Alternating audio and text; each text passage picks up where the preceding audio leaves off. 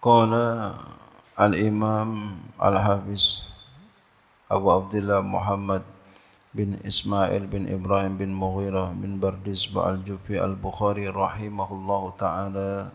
Amin. Babu man salla bin nasi wa huwa la yuridu illa ayu alimahum salatan nabi sallallahu alaihi wasallam wa sunnatahu. Babu ini bab man orang sholat sholat dia bin nasi ya bersama imam. Jadi baknya lil ilsaq eh, baknya ma'iyah ya. baknya ma'iyah. Jadi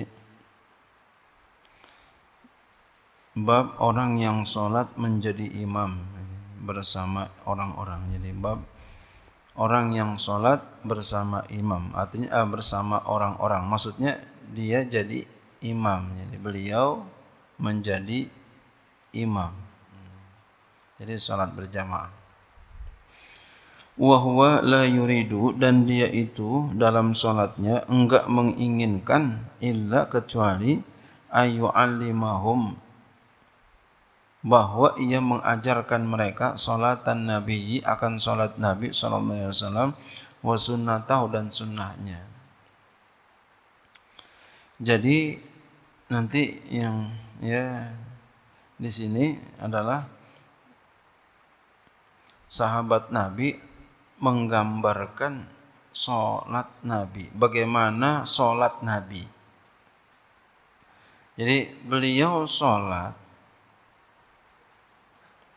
beliau sholat menggambarkan bagaimana sholat Nabi. Nah ini menandakan begini boleh. Tapi bukan berarti menafikan ya. Men, bukan berarti menafikan kurbah ibadah kepada Allah bukan. Ini cuma ingin menjelaskan katakan kronologinya ya. Hmm. yang membangkitkan beliau, yang membangkitkan beliau untuk sholat ini adalah untuk mengajarkan. Tetap lillahi ta'ala tetap. Jadi untuk ngajarin. Kadang kita pun begitu untuk ngajarin. Kita zikir keras kan supaya apa? Yang di belakang bisa ngikutin gitu ya. Tapi tetap hati kita berusaha lillahi ta'ala. Dan ini boleh. Kata Syekh Ibnu Hajar dalam ya, Fathul Barinya fafi dalilun ala jawazi misli zalika. Demikian itu dalil boleh demikian. Jadi wa annahu laisa min babi tasyrik fil ibadati dan bahwasanya itu kata beliau bukan bab ya, pensyarikatan dalam ibadah bukan bukan ada di situ kesyirikan menyertai yang lain dalam ibadah bukan. Semata-mata ingin ngajarin bagaimana sholat Nabi dan sunnah Nabi. Itu kan baik. Biar benar. Yang kata Nabi sallu kama ra'aitumuni usolli. Salatlah kamu sebagaimana kamu lihat aku sholat. Dan juga menjadikan pelajaran nanti di sini kita lihat ya. Eh, kita baca dulu hadisnya.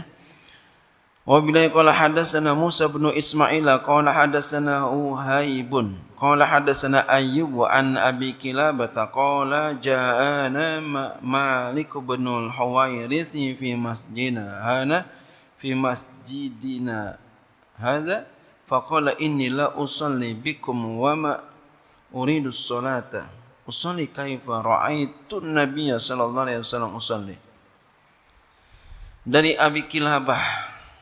Berkata beliau Abi Kilabah. Ja'ana pernah datang kepada kami kata Abi Kilabah. Malik bin Huwairis.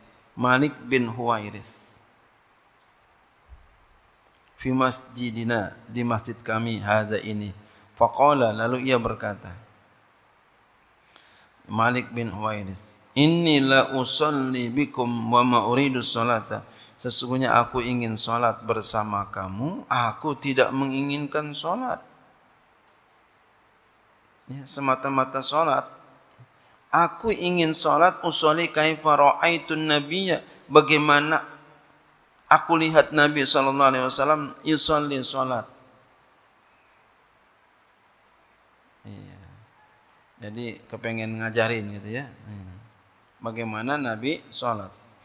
Fakultu lalu aku berkata li abi kilabata kepada abi kilabah kaifa kana yusalli bagaimana sholatnya bagaimana ia sholat Qala ia mengatakan misla syekhina hada seperti guru kita ini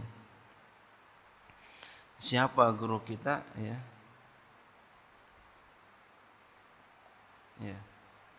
Ini dikatakan qala wa kana syaikhan yajlisu iz rafa'a ra'sahu min as-sujudi qabla ayan hadu fi raq'atil ula.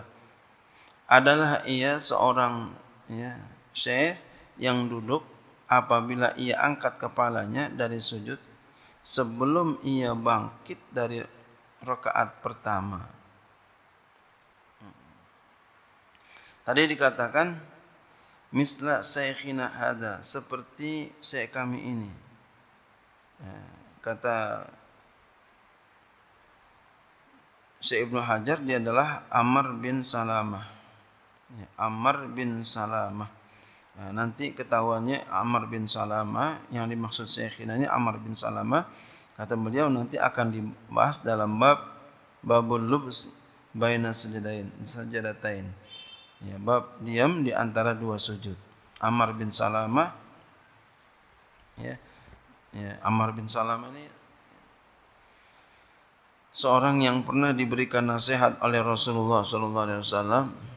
Kata Rasul, "Ya gulam, wahai gulam, ya, anak ya, anak kecil, samillah wa kul biyaminika wa kul mimma yalika."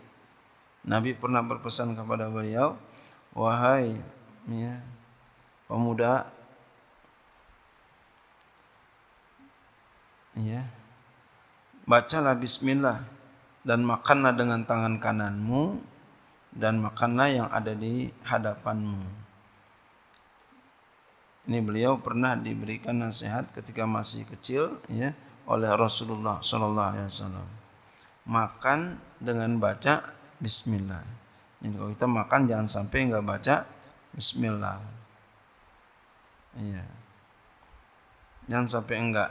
Kemudian makan dengan tangan kanan. Ini tangan kanan. Dibiasakan tangan. Jangan sampai tangan kiri ya. Enggak ikut sama Rasul tuh. Ini jangan dibiasain. Makan tangan kiri. Ya, orang kalau ada tangan pakai tangan kiri biasanya ada kurangnya. Ya, tangan kanan. Dan makan apa yang ada di sekelilingmu, yang di hadapanmu. Kalau makan di sini dulu. Ya. Ya, jangan yang langsung ke tengahnya. Mama kita makan di nampan ya. Di depan kita dulu makan. Nah ini nasihat ini setelah beliau mendengar nasihat ini, beliau dari mulai sejak itu ya melakukan apa yang diperintahkan dinasihatkan oleh Rasulullah SAW kepada beliau yaitu tentang makan.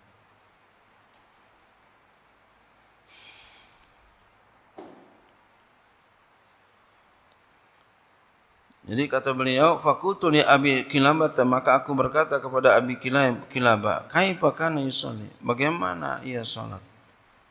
Qala misla syekhina hadza.